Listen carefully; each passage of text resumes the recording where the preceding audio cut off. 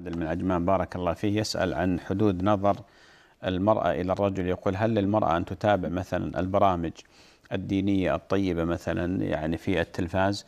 عادل بارك الله فيك. أولا بالنسبة لحدود نظر المرأة للرجل هو مسألة الشهوة فلا يجوز للمرأة أن تنظر إلى الرجل نظر شهوة لأن الله جل وعلا قال وقل للمؤمنات يغضضن من أبصارهن ويحفظن فروجهن وكذلك الرجل لا يجوز له أن ينظر إلى المرأة نظر شهوة. يقول جل وعلا قل للمؤمنين يغضوا من أبصارهم ويحفظوا فروجهم النبي صلى الله عليه وسلم قال في النظرة قال لك الأولى وليست لك الثانية.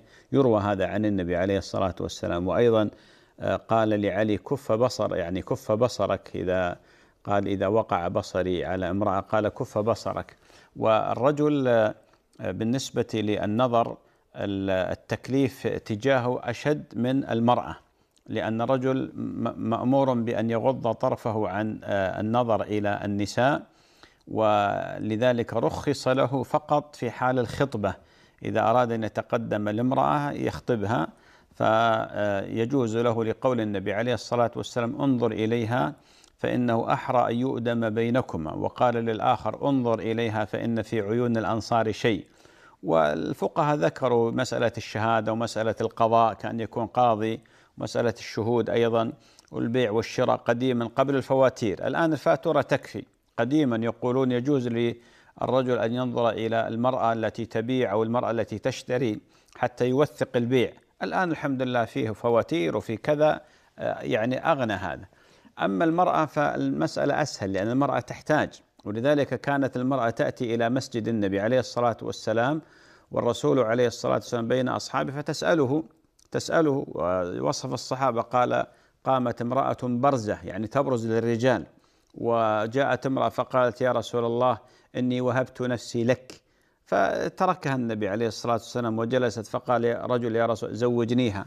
وأما حديث اللي يذكرونه أفعمياوتان أنتما هذا حديث ضعيف. لا في حديث أن أن النبي عليه الصلاة والسلام قال للمرأتين قال للمرأتين التي اللتين دخل عليهما عبد الله بن أم مكتوم فامرهما بغض البصر. كان كثيف كان لا يرى لا يبصر. فقال يا قالت يا رسول الله إنه كثيف. قال اعمياوتان أنتما أنتما يعني. هذا ضعيف. ولذلك يجوز للمرأة أن تشاهد التلفاز وتتابع البرامج الطيبة وتستفيد كما يستفيد الرجل.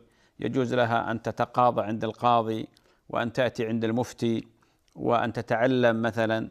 كل هذا جائز. المحرم إذا وجد القصد النية بأن يكون النظر نظر شهوة هنا تأثم المرأة. بارك الله فيك.